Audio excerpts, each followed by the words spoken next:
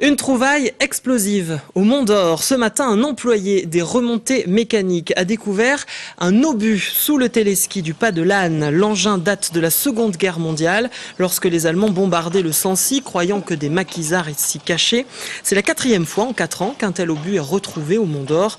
En attendant les démineurs, une zone de sécurité a été mise en place. Écoutez